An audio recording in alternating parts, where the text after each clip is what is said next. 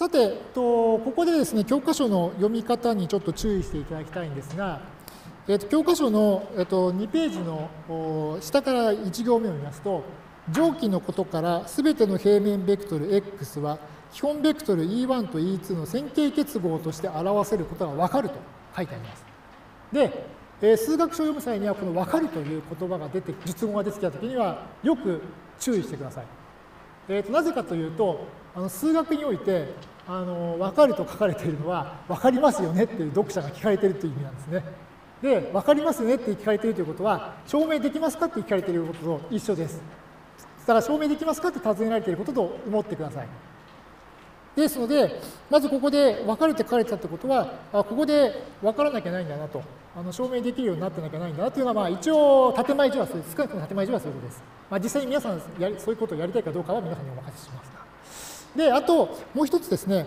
そのこの文には蒸気のことからっていうふうに書かれていましたので、蒸気のことからこれが分かるということは、実はこの蒸気のことがその結論で述べられている事実の証明になっているということも分かります。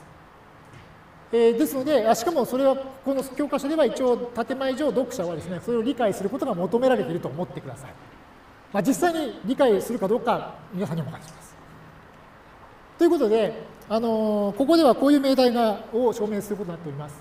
えー、と任意の平面ベクトルは基本ベクトル E1 と E2 の線形結合として表すことができるという命題がここに書かれておりますので、早速ですからこれ証明することにしましょう。で証明のポイントですね。と E1 と E2、先ほど出てきました基本ベクトルですけど、E1 と E2 の線形結合っていうのを表していますと、こんなふうに表せます。えー、と C1 と C2 を実数として、えー、と E1 の C1 倍と E2 の C2 倍の和ですね。こういう形で表されているということになります。そうすると、この2のベクトル x があの E1 と E2 の線形結合で表されているということは、えー、この x1 と x2 がですね、このこちらのベクトルが x1 と x2 に等しくなるようなこの定数 c1 や c2 の値を決めればよいということになります。まず、あのその数学の定義を証明しようと思ったら、何を証明しなければならないかっていう、この証明のポイントを見つけるってことが一つのステップですね。まあ、最初はそれが難しいというのはよくわかるんですけども、まあ、そういうところをちょっと演習とかで、あのだんだんあの一つずつ考えていくということでやっていってます。では、その証明をしてみましょう。え、ー、と、この x1 と x2 っていうベクトルはですね、実は次のような和で表すことができます。x10 プラス 0x ですね。これはあのベクトルの和の定義からあの明らかにあのこういう形で表すことができます。そして、えーと、x10 っていうベクトルは、この10っていうベクトルの x1 倍であるってことは、あのそのスカラの定義から言えるわけですね。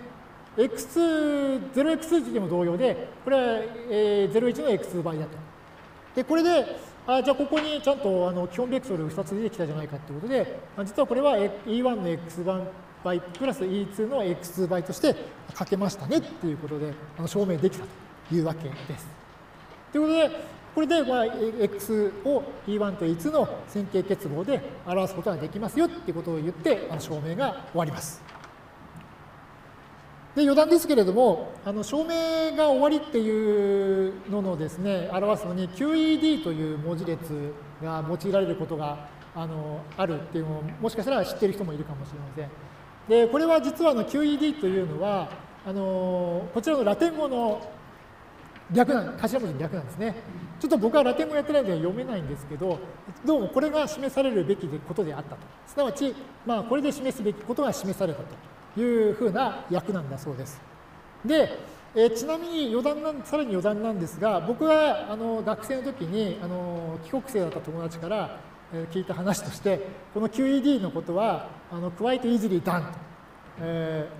ー、いうジョークがあったというような話を教えてもらったことがありました。まあ、こんなもんすぐ簡単に示してっていう 意味で QED って書くっていう人はいたようです。はい、じゃあついでにですね、あの今こういう命題を示したので、その2の平面ベクトル、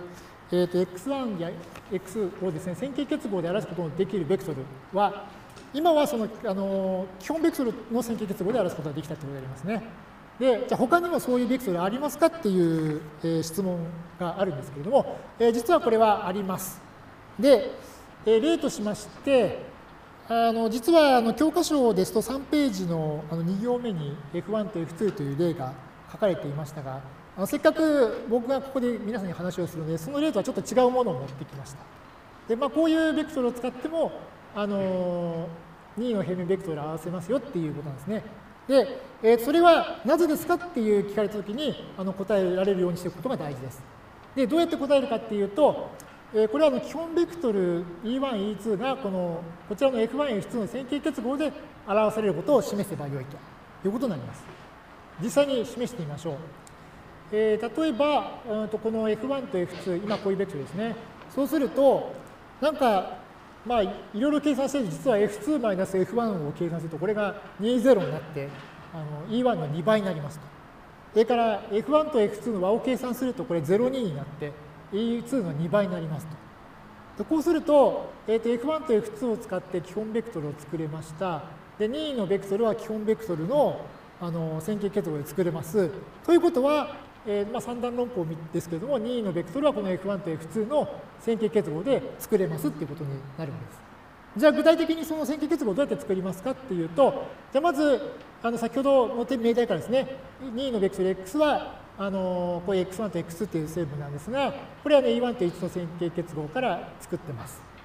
で、この、今度はこの E1 はですね、この2分の1倍の F2-F1 と置き換える。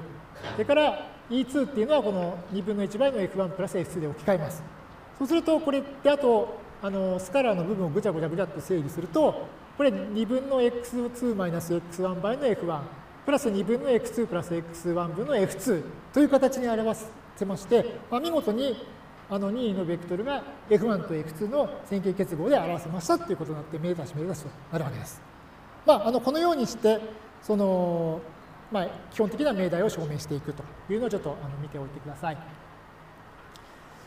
で、えー、とあと最後の方ですけれども、まずあの定義として平面ベクトルの生成という定義があります。えこれはあの A1 から AN をこの R2 のベクトルとしたときに、その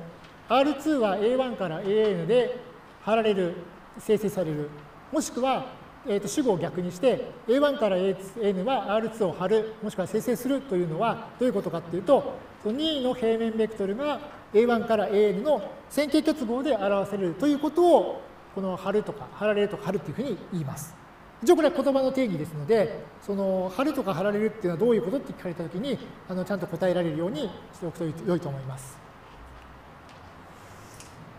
で、えー、とあと、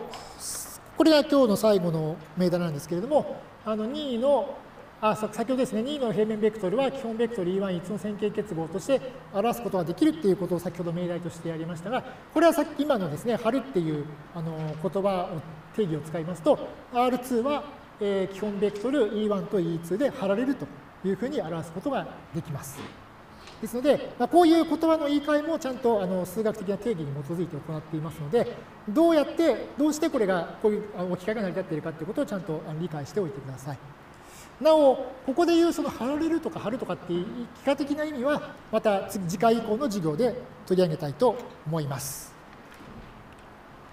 というわけで、今回の第1回のまとめです。えー、と第1回、今回の授業ではまず線形代数をなぜ学ぶか、それから何を学ぶかということについてちょっと紹介をしました。それから、えー、教科書の内容ではあの平面ベクトルとスカラー、それから、えー、と平面ベクトルのスカラーバイト和、それから平面ベクトルの線形結合、あと平面ベクトルが R2 を貼るという概念まで学びました。ですので、えー、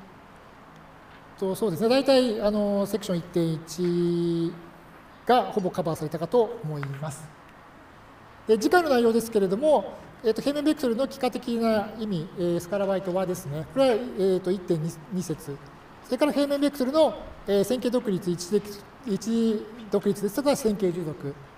それからあと平面ベクトルの集合 R2 の規定、え、それから平面ベクトルの内積といったところを学んでいきますいきますので、あのなるべくちょっと皆さん、あの先の方あの教科書を見てですね、どんなことを学ぶかというのをちょっと見てみてください。